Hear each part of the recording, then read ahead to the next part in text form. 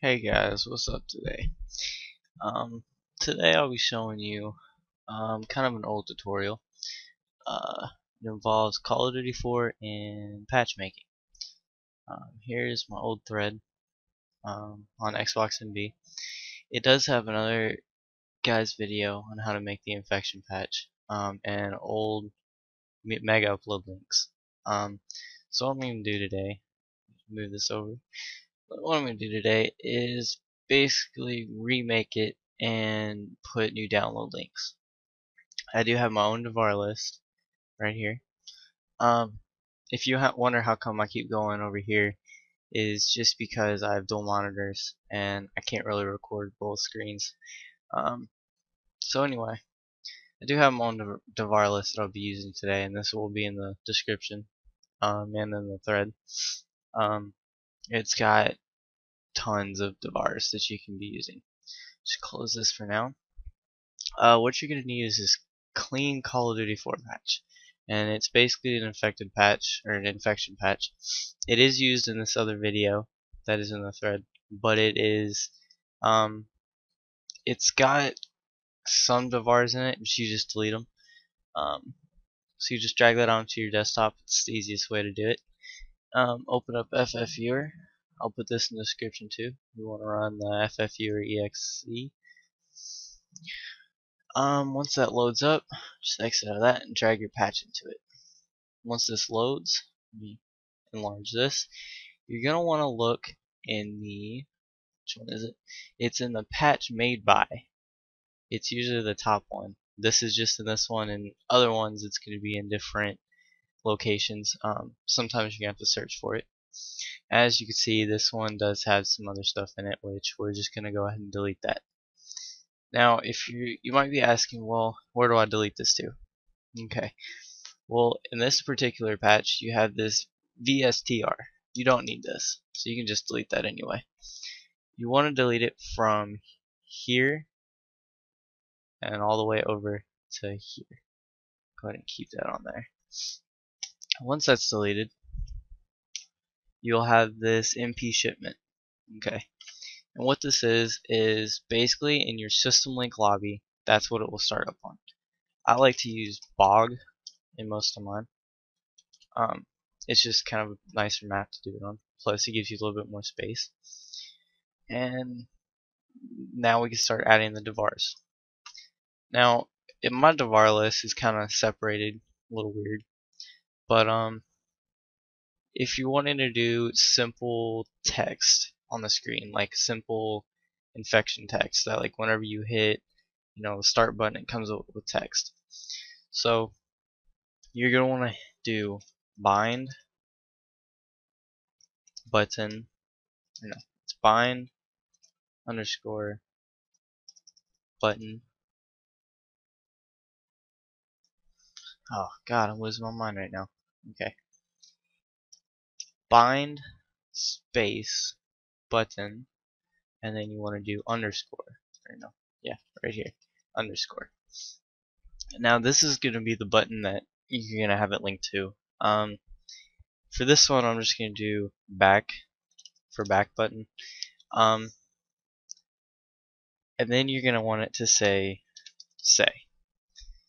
Then in my Dvar list you can see the colors um, I'm just going to use regular cyanide color.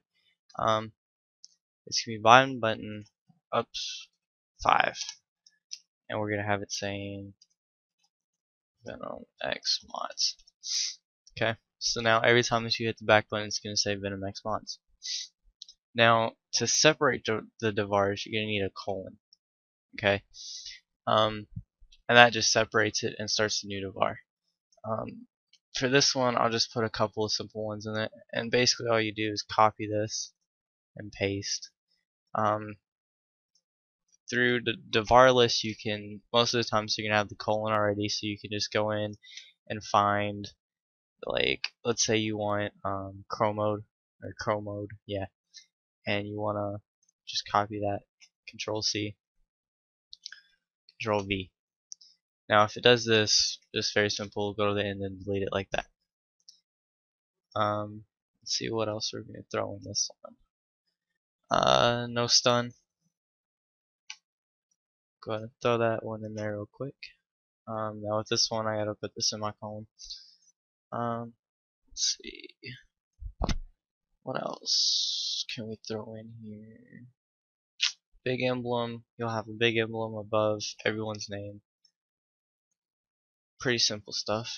Now, at the end of every one of my patches, I usually like to do update gamer profile which what this does is just it updates your profile. So like let's say you have XP or custom classes or any of that kind of stuff um, that needs to be synced with your online that's what update gamer profile will do. It updates your profile.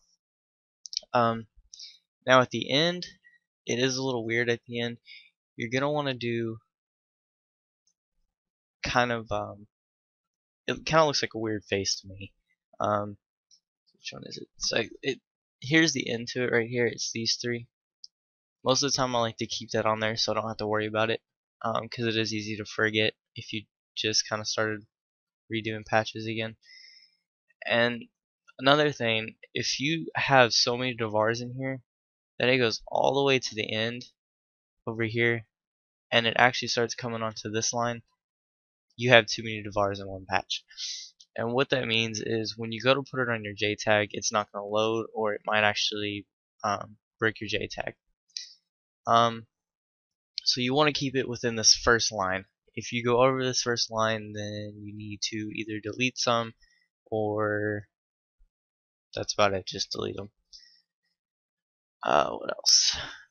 Um, like I said, I will be providing this um, Dvar list in there. Um, and I think that's about it that you'll need to know. Um, simple thing, just to save your work, you want to go into File, Save Fast File, let it save. Usually it's going to be your patch underscore mp.ff. Just save it. Okay, we're done with that. And now you have your patch. I'm going to name this test patch. and there you go. Um, like I said I will provide all of this in the description. Um, if you have any questions just uh, feel free to PM me on Xbox MB or message me on YouTube. Uh, please like subscribe and comment. Uh, thanks guys